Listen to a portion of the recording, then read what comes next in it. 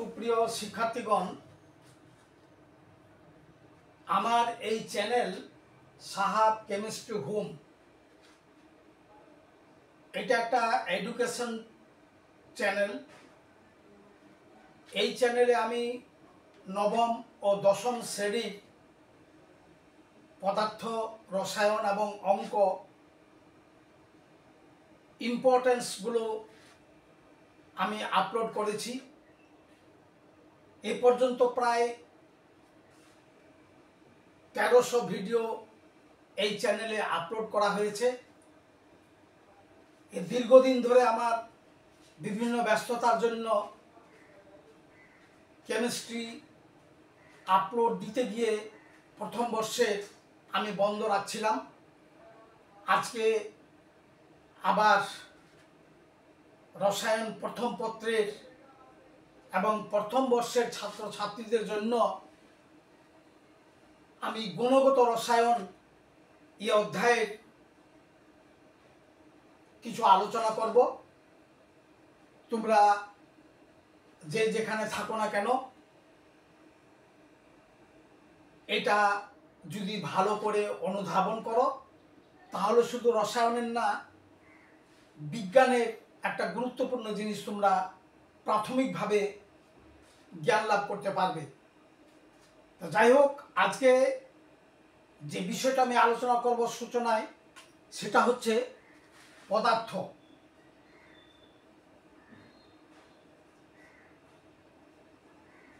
পদার্থ কি?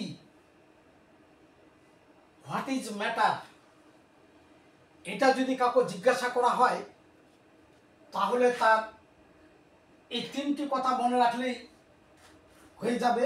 সেটা হচ্ছে যার ওজন থাকবে, দুই নম্বর জায়গা দখল করবে, তিন নম্বর বল প্রয়োগে বাধা প্রদান করবে। এই তিনটি ক্যারেক্টার যদি থাকে অর্থাৎ it must be weight and it occupy the space that is volume and it can it can protect forces বল প্রয়োগে বাধা প্রদান করতে পারবে। এই তিনটা গুণ থাকলে সেটাকে আমরা পদার্থ বলব। যদি তোমাদেরকে বলে যে কয়েকটি পদার্থের উদাহরণ দাও, তাহলে তোমরা নির্দ্বিধায় সামনে যাহা দেখবে, সবগুলোই পদার্থ। তুমি, আমি, বই, চেয়ার, টেবিল সব কিছুই পদার্থ, কারণ সব কিছু এরা জায়গা দখল করে এবং এদের অজন আছে। অর্থাৎ অগণিত পদার্থ পৃথিবীতে আছে। যাই হোক অধিকার যাচ্ছি না। এই পদার্থের বিপরীত ধর্মী যাদের গুণ, অর্থাৎ যাদের নাই, জায়গা দখল করে না, অনুভূতি যেখানে থাকবে, সেগুলো হলো শক্তি। পদার্থের আরেকটা রূপ হলো শক্তি। এনার্জি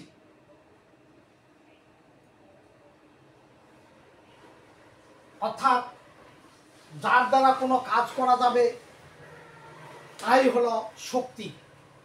যেমন আলোক শক্তি বিদ্যুৎ শক্তি, শব্দ শক্তি, অর্থাৎ যে যাদের মাধ্যমে আমরা কাজ পাবো, অর্থাৎ energy is the capacity for doing work যার কাজ করার সামর্থ্য আছে, তাহাই শক্তি। এখন, এই পদার্থকে যদি আমরা অসংখ্য ক্ষুদ্র ক্ষুদ্র ভাগে বিভক্ত করি, এমন ক্ষুদ্র অংশ বিভক্ত করি, যেগুলোকে খালি চোখে দেখা যাবে না এবং যেগুলোকে আর ভাগ করা যাবে না, এই ক্ষুদ্রতম পদার্থের ক্ষুদ্রতম অংশটিকে বলা হবে পরমাণু।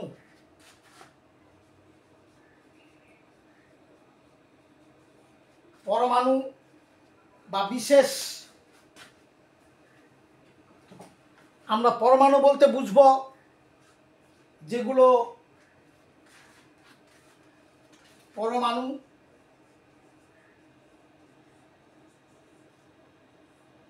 যাহা ভাগ করা যায় না, অবিভাজ্য।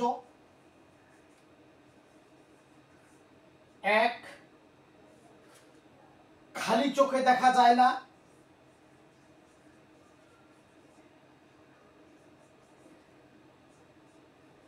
এবং এদের একাই কোনো এদের অস্তিত্ব নাই। এদের অস্তিত্ব, এরা একজন আরেকজনকে মিলে তাদের অস্তিত্ব কল্পনা করা যায়। যাই হোক, এই যে অবিভাজ্য ভাগ করা যায় না, খালি চোখে দেখা যায় না, এই ক্ষুদ্রতম অংশটাই হলো পরমাণু। তার অবশ্যই ওজন থাকবে, জায়গা দখল করবে, এবং বল প্রয়োগে বাধা প্রদান অবশ্যই করবে, যেহেতু পদার্থ থেকে এগুলো আসছে। যাই হোক, অত বিস্তারিত যায় না। এই পরমাণুকে বৈজ্ঞানিকরা অতি শক্তিশালী ইলেকট্রনিক মাইক্রোস্কোপ দিয়ে এগুলো ভাঙা তাদের পক্ষে সম্ভব হয়েছিল। ভাঙ্গার সঙ্গে সঙ্গে দেখল কতগুলো কণিকা বাতাসে বিলীন হয়ে গেল। কতগুলো কণিকা স্থায়ীভাবে তারা কল্পনা করল। এই তাহলে এই কণিকাগুলো দুই ধরনের, অস্থায়ী ও স্থায়ী।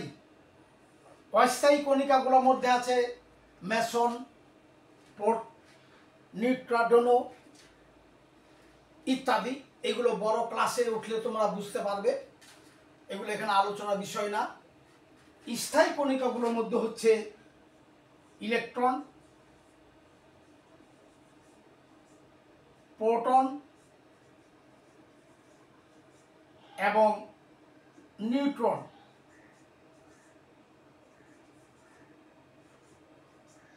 ইলেকট্রনকে ই দ্বারা প্রকাশ করা হয়েছে, প্রোটনকে পি দ্বারা এবং নিউট্রনকে এন দ্বারা।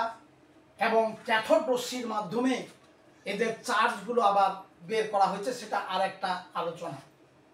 কাজেই এতটুকু মনে রাখতে হবে ইলেকট্রনগুলো ঋণাত্মক চার্জ আরও এর গবেষণা আছে।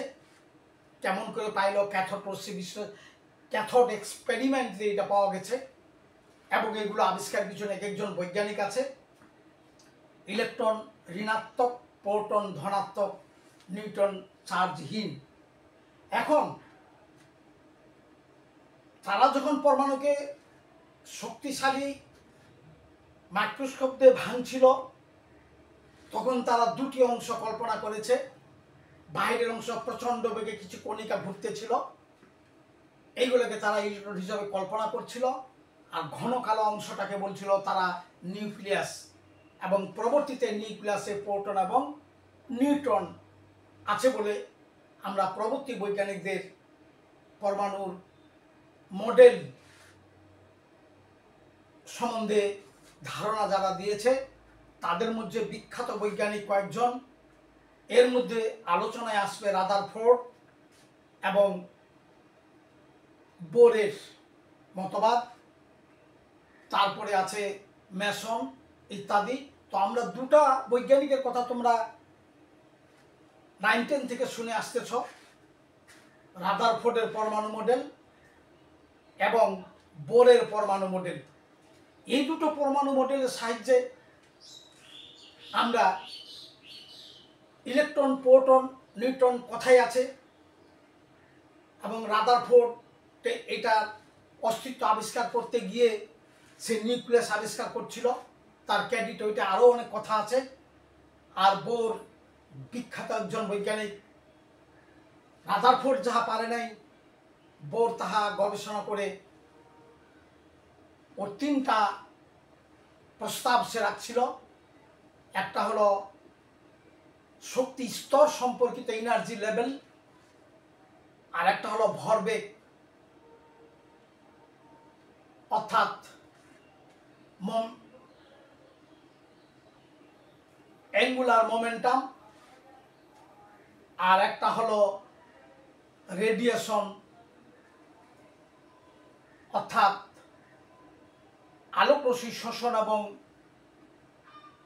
বিকিরণ। একটা হলো তার মাস অ্যাঙ্গুলার মোমেন্টাম যেটাকে বলা হয়।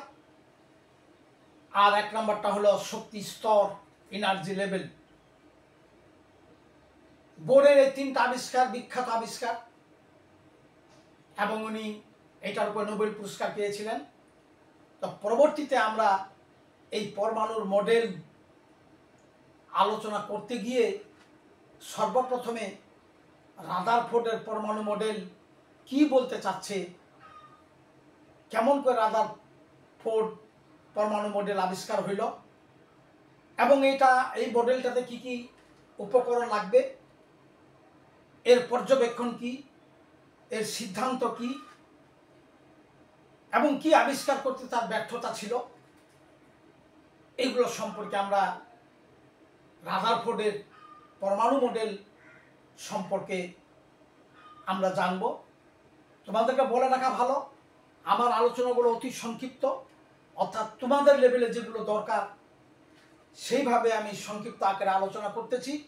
এগুলোর এক একটা পিছনে বিশাল বিশাল আবিষ্কার আছে। এই আবিষ্কারগুলো তোমাদের এই বয়সে তোমাদের মাথায় ঢোকানো সম্ভব না।